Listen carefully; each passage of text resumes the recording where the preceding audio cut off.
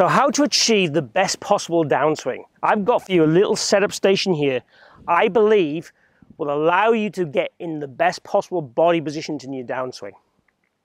What we've got, my tour bag here, alignment rod sticking out, a shaft here on the ground.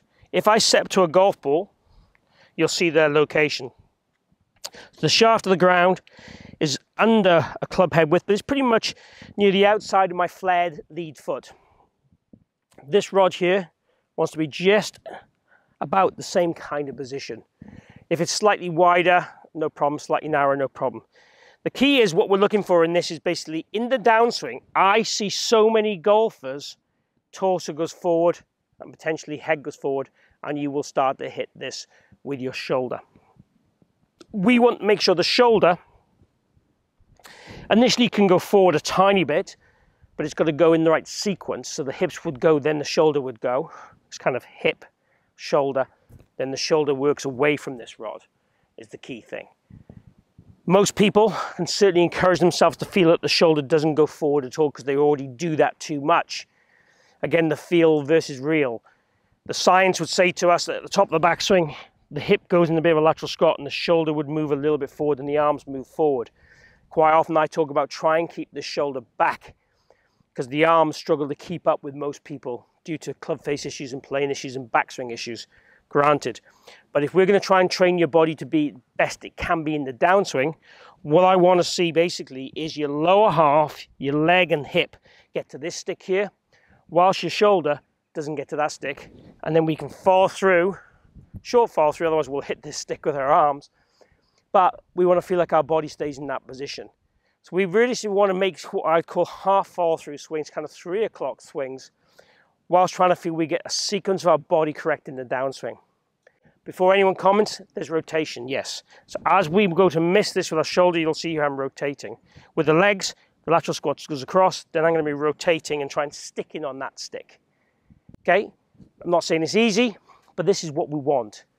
The idea would be initially you would make a few practice swings, top of the swing, make contact, stay away from that stick. That's the initial thing you want to definitely feel. Then we want to build that up to hitting small shots. We could actually put this further out the way so you wouldn't hit it with your arms, but is it up to you? So for me, it's about training something that makes us feel a bit fearful of hitting it, so it makes us move differently. Quite often I get guys in for lessons, they say to me, okay, I don't really like drills, but I want to be able to do this move. So we try and do the move without a drill, a constraint, and quite often they can't do it. So sometimes we need things that make you move differently, and this is one of those things that makes us move differently. And then we want to absorb those feelings and put that into the shot. So you might only need a case of two or three reps doing this, and then go into the golf ball and trying to put in the same moves that you've done with this. Let's give it a go, shall we? So I take my setup.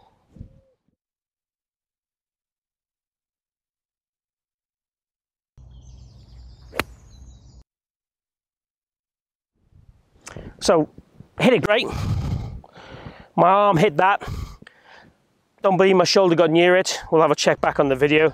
But the ball and turf contact was great. I felt my leg get across to the stick, the shaft in this case, and it felt very dynamic. So really what we're looking to create here is a very dynamic body move on the way down. And if we move our body correctly, the arms tend to follow, okay? So we tend to get more of a good body swing. The arms take care of the plane and direction. Some people will have motor patterns and stuff that mean their arms are going a bit funky, that they might need to work on their arm swing also. Do not worry, we can tackle that in second, second video or a second time. Work on what the body's doing, let the arms follow, see how it affects your golf, see how it affects your swing, see how it feels, and let me know. Really welcome any questions or comments or feedback. You know, I want you to be part of my community so I can help you improve your golf. That's really the, the junks of it, really, when I want you to put comments down. Anyway, thank you for checking out this video. Hope to see you back here real soon.